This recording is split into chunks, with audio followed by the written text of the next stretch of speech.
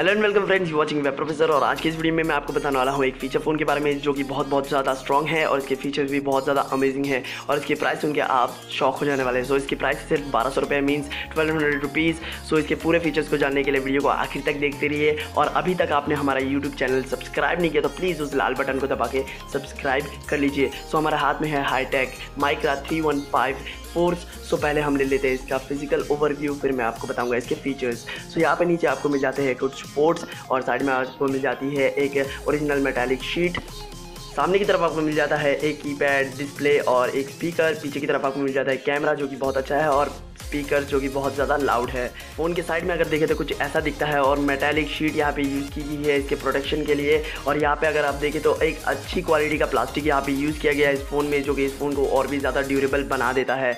ऊपर की तरफ़ मिल जाती है एक ब्राइट टॉर्च जो कि बहुत ज़्यादा ब्राइट है, क्योंकि इसको मैंने खुद यूज़ किया है रात को। और यहाँ पर अगर आप देखें तो यहाँ पर बैकलेट की आपको मिल जाते हैं इस फ़ोन में, और कुछ ऐसा दिखता है ये फ़ोन रात को।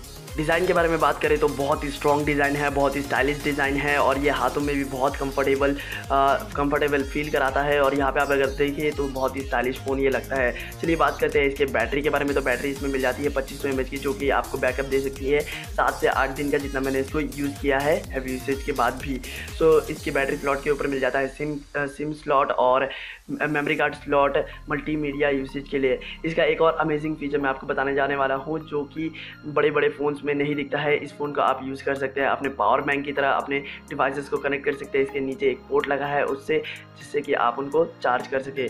सो मुझे ये फ़ोन बहुत ज़्यादा अच्छा लगा, बारह सौ रुपये में। सो बारह सौ रुपये में आपको ऐसे फ़ोन देखने को नहीं मिलते हैं बट ये एक इंडियन ब्रांड है तो आपको ऐसा फ़ोन नहीं मिलेगा बट ये फ़ोन बहुत ही ज़्यादा अच्छा है। तो आपको कैसा लगा? अगर आपको ये फ़ोन अच्छा लगा है तो प्लीज़ लाइक करें। और आप बताइए कि आपको कैसा लगा ये फ़ोन कमेंट सेक्शन में और सब्सक्राइब करें हमारे चैनल को, ऐसी ही बहुत सारी वीडियोज़ को देखने के लिए। दैट्स ऑल बाय मिलते हैं एक अगले वीडियो में, एक अमेजिंग